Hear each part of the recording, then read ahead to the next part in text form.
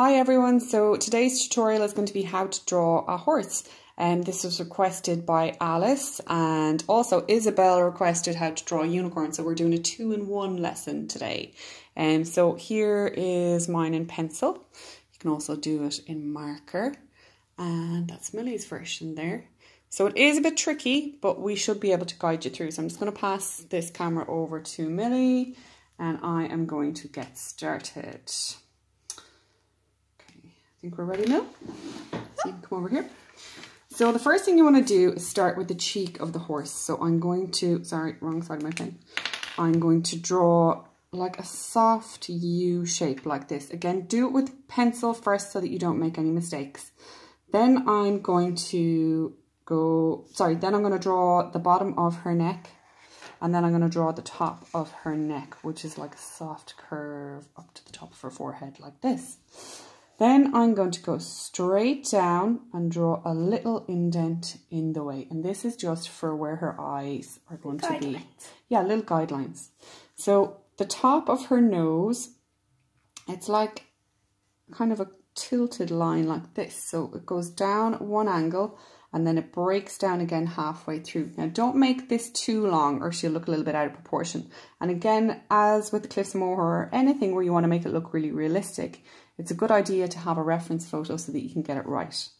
So the top of her nose, we're going to do a curve in the way like that. And that's going to be where her nostrils are going to start. And then we're going to do her bottom lip, sorry, top lip, and then her bottom lip this. And then all we need to do is join them up like that. So we've got that done. So we're going to go up onto the top of her head again and we're going to put in her ears. So we were saying her ears are kind of like a little tent and then you have a curved coming down and then you're going to fill that in with shading so that it looks... To make it look realistic. Exactly.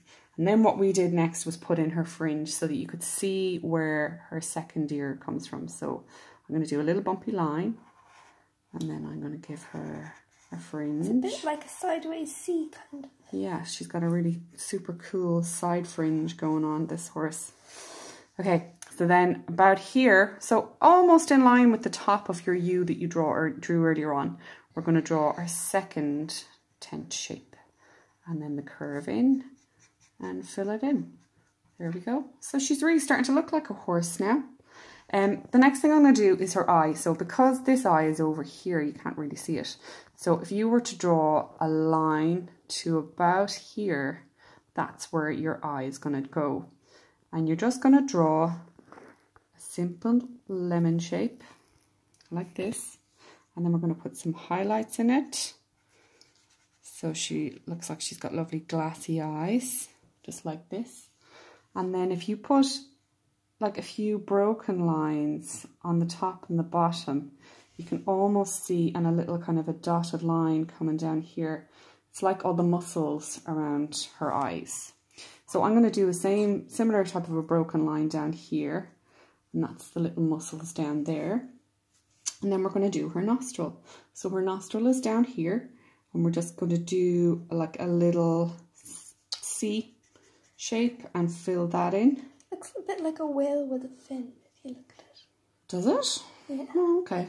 Um, so that's her pretty much finished. I mean, you can add in little details like what we did on our finished one over here. We added in a little bit of shading on the top of the lip and a comma over here. A bit at the bottom.